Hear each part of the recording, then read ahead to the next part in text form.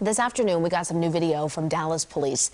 It is body camera video from an officer involved shooting from over the weekend. And we do want to warn you this video is disturbing to watch. Our Steve Pickett reports tonight that DPD says its officers involved put their lives on the line within seconds. Man, put your hands up. This police body cam video records the moment two DPD officers attempt to grab auto theft suspect Hernan Gutierrez. The video according to Police Chief Eddie Garcia, also shows something else. That was the type of policing uh, that keeps the city afloat and the dangers that our men and women face uh, every day.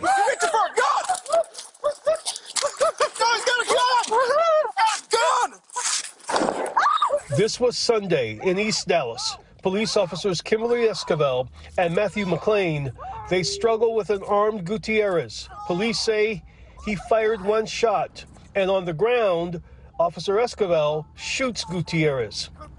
He's alive. The 35 year old is a convicted felon on probation for firearm possession and drugs.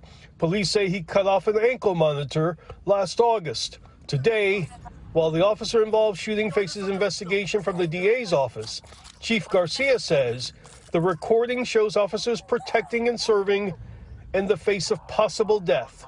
The actions of Officer Esquivel and Senior Corporal McLean exemplify what it means to sacrifice for your city and to sacrifice for your brother sister officer. The decision Officer Esquivel made in the face of evil saved lives on Sunday. She saved the life of her partner, her own, and protect as those we swore to serve. This is the second officer involved shooting for this department so far this year. And in both cases, suspects pulled out guns and used them. In Dallas, Steve Pickett, CBS News, Texas.